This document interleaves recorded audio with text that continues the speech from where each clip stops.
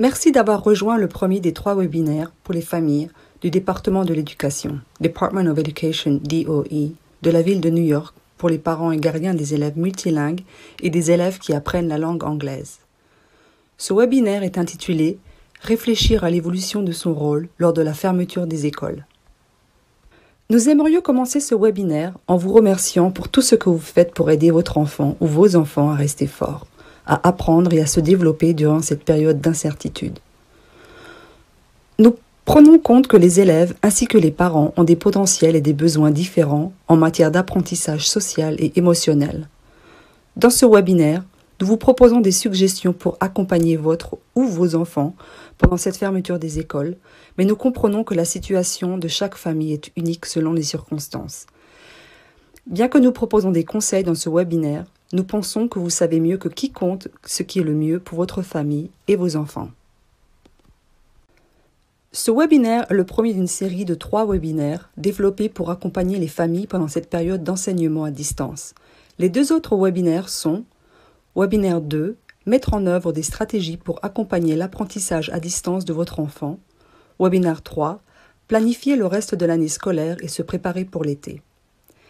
Cette série de webinaires est parrainée par le réseau régional de ressources éducatives bilingues de la ville de New York et par le réseau régional des ressources linguistiques éducatives bilingues de l'État de New York en collaboration avec le département de l'éducation de la ville de New York, Bureau des élèves multilingues.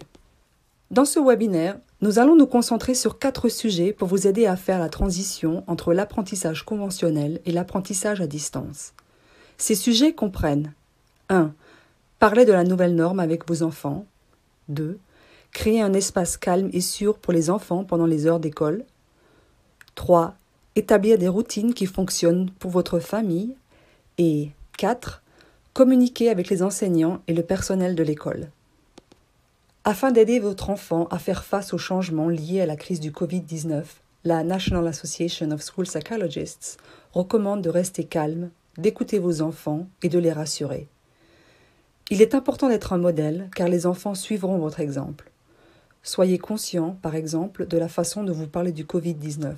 Les mots que vous utilisez peuvent augmenter ou diminuer la peur et l'anxiété de votre enfant. Expliquez la distanciation sociale à votre enfant il peut être difficile pour les enfants de comprendre pourquoi ils ne sont pas autorisés à voir leurs amis.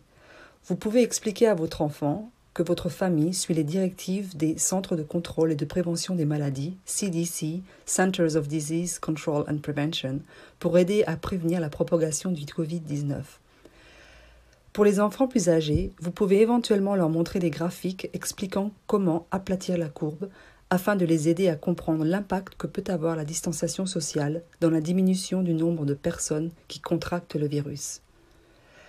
Il est important que les parents et les tuteurs surveillent attentivement ce que leurs enfants regardent à la télévision ou sur Internet. L'affichage continu d'informations sur le Covid-19 peut augmenter la peur et l'anxiété chez les adultes et les enfants, et certains contenus peuvent ne pas convenir aux plus jeunes. Recherchez des alternatives que vous pouvez proposer à vos enfants, comme jouer à un jeu ou organiser une soirée dansante. Le Centre de contrôle et de prévention des maladies, CDC, recommande aux parents et tuteurs de rester calmes et rassurants lorsqu'ils parlent de la pandémie du Covid-19 avec leurs enfants. Vous devez fournir des informations honnêtes, précises et adaptées à l'âge de l'enfant. Prévoyez du temps pour parler à vos enfants et répondre à leurs questions. Faites savoir à vos enfants que vous êtes là pour les écouter et qu'il est normal de ressentir beaucoup d'émotions différentes en ce moment. Il est important que les enfants sachent que le virus peut être transmis par n'importe qui. Faites attention à ne pas blâmer un groupe particulier ou à ne pas parler d'une manière qui pourrait stigmatiser un groupe en particulier. Apprenez à vos enfants les mesures qu'ils peuvent prendre chaque jour pour stopper la propagation des germes. Par exemple, ils doivent se tenir à l'écart des personnes qui toussent, éternuent ou sont malades. Ils doivent également se laver les mains avec de l'eau et du savon pendant au moins 20 secondes, en particulier après s'être mouchés ou avoir toussé ou éternué. Ils doivent également se laver les mains après être allés aux toilettes et avant de manger ou de préparer de la nourriture.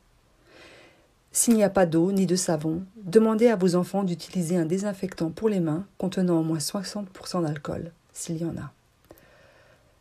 Rappelez à vos enfants de tousser ou d'éternuer dans un mouchoir ou dans leur coude.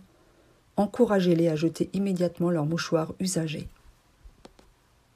Les enfants ont besoin d'un espace calme et sûr, car leur environnement familial peut avoir un impact sur leur comportement. Par exemple, les enfants peuvent exprimer de la frustration, de la tristesse ou de la colère parce qu'ils ne peuvent pas sortir, parce qu'ils se sentent isolés de leurs amis ou parce qu'ils passent beaucoup de temps en famille dans un, espace restreint.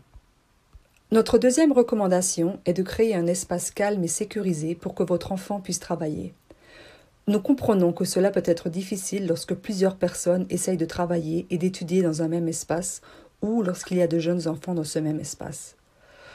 Mettez tout le matériel scolaire au même endroit. Par exemple, une boîte en carton peut être utilisée pour ranger les papiers, crayons taillés et autres fournitures dont votre enfant pourrait avoir besoin.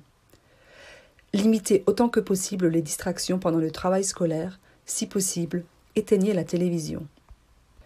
Il est également important que les enfants disposent d'un espace où ils peuvent se détendre et se gérer seuls s'ils en ont besoin. Cet espace peut être éloigné de son lieu de travail. Pour certains enfants, il peut s'agir de leur chambre ou d'un autre petit espace dans la maison. Vous pouvez faire en sorte que l'espace soit accueillant pour votre enfant et inclure des éléments qui pourraient l'aider à se calmer, comme son livre ou son jouet préféré. Si possible, être à l'extérieur peut aider certains enfants à se détendre quand ils se sentent anxieux ou dépassés. Vous pourrez faire le tour du pâté de maison ou passer un peu de temps sur un balcon. Nous savons que les familles ne disposent pas toutes de ces options. Le besoin de disposer d'un espace sécurisé et silencieux va au-delà du travail scolaire. Il y a plusieurs façons de soutenir le sentiment de sécurité des enfants à la maison. La respiration profonde est un outil important permettant de calmer le système nerveux.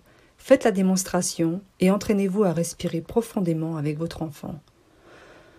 Nous pouvons nous concentrer sur le positif même dans les moments difficiles, célébrer les moments en famille et essayer de les rendre les plus amusants possibles. Donnez aux enfants des occasions de parler à leurs amis et à la famille pour préserver un sentiment d'appartenance.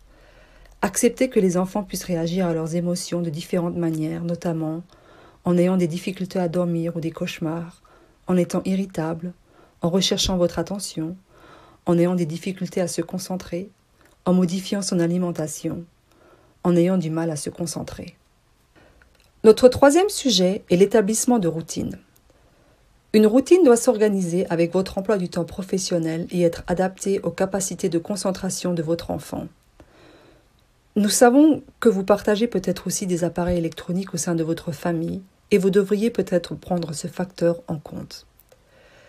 Créez une routine qui fonctionne pour votre famille. Demandez à vos enfants de donner leur avis sur ce qui fonctionne mieux pour eux.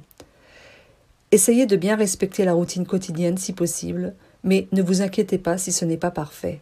Nous faisons tous de notre mieux. Assurez-vous que vos enfants ont du temps pour jouer. C'est aussi l'occasion de partager des histoires de famille ou des expériences passées. Vous pouvez aider vos enfants à établir les liens entre vos expériences aux États-Unis et vos expériences de votre pays d'origine, le cas échéant. Discutez avec votre enfant pour savoir quel travail est dû et quels objectifs réalistes peuvent être fixés.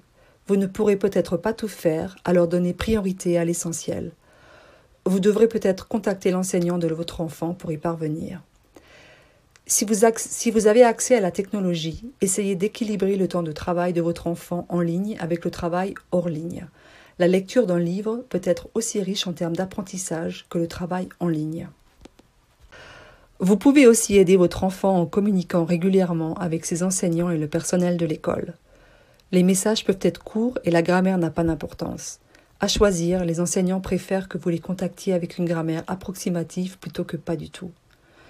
Utilisez la langue que vous parlez à la maison si c'est plus facile.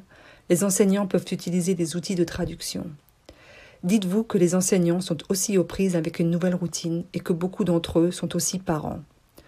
Surtout, n'hésitez pas à demander de l'aide. Les enseignants sont là pour vous aider. Il est toujours important de connaître les droits de votre enfant. Même avec l'enseignement à distance, votre enfant a toujours droit à un accès égal à tous les programmes et services offerts par le district. Vous avez toujours le droit de rencontrer le personnel de l'école pour parler du développement du langage de votre enfant. Vous avez toujours le droit d'avoir recours à un interprète dans votre langue de prédilection. D'autres membres du personnel sont là pour vous aider, en plus de l'enseignant de votre enfant.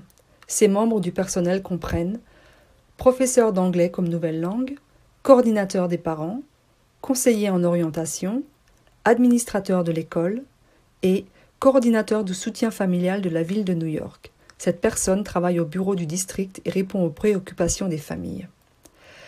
Si vous ne savez pas comment contacter ces membres du personnel, vous pouvez vous rendre sur le site internet NYC Find a School, trouver une école à New York, indiquée sur cette diapositive, et rechercher l'école de votre enfant. Vous pouvez également demander à l'enseignant de votre enfant le nom et les coordonnées de la personne que vous voulez contacter. Vous pouvez contacter n'importe laquelle de ces personnes avec vos questions ou préoccupations.